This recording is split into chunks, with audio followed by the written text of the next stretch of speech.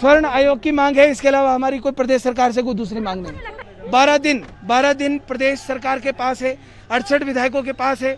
इन बारह दिन के अंदर, बारह अगस्त से पहले, इस सदन में वो बिल पारित करे। स्पॉन्सर्ड बाय स्वर्णावा ज्वेलर्स मोती बाज़ार मंडी सोने से चमकाएँ अपनी खूबसूरती।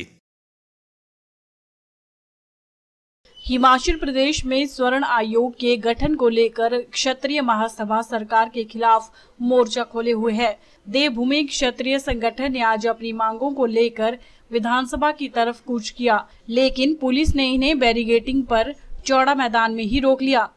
एक हज़ार के करीब इन लोगों ने सरकार के खिलाफ जमकर नारेबाजी की और कानून लाकर जल्द आयोग के गठन की मांग उठाई है।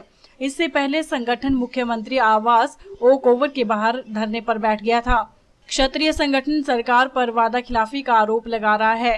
संगठन के अध्यक्ष रुमित ठाकुर का कहना है कि अप्रैल में सरकार ने आयोग गठन करने का आश्वासन दिया था, लेकिन अभी तक सरकार की ओर से इसको लेकर कोई कदम नहीं उठाया गया है।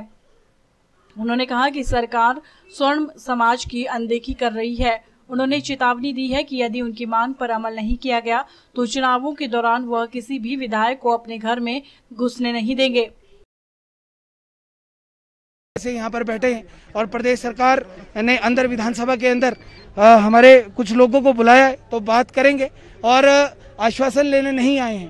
प्रदेश सरकार ने हमसे वादा किया था तो हमारी पूरी वही है कि प्रदेश सरकार अपना वादा पूरा करे। स्वर्ण आयोग की मांग है, इसके अलावा हमारी कोई प्रदेश सरकार से कोई दूसरी मांग नहीं। अरे आश्वासन लेने नहीं जा रहे हम लोगों ने ये कहा है प्रदेश सरकार को कि आज विधानसभा आज विधानसभा का पहला दिन है, बारह दिन बारह दिन प्रदेश सरकार के पास है, अड़सठ विधायकों के पास है।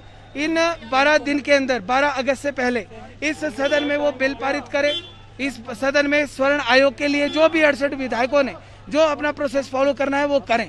आज हम प्रदेश सरकार के पास जा रहे पूरी तरीके से बात रखेंगे और स्वर्ण आयोग लेकर आएँगे। फेसबुक पर पोल स्टार हिमाचल का पेज लाइक करें और यूट्यूब पर हमारा चैनल सब्सक्राइब करना ना भूलें।